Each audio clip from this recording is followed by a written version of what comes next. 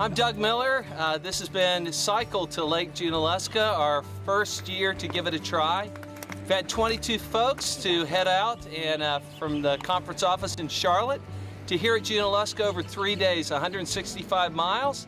And, uh, and we had two different stops along the way, and Kaiser at Kaiser Methodist, and then at Black Mountain at Black Mountain Methodist. So thank you for your support and your prayers. Hope next year you'd come join us.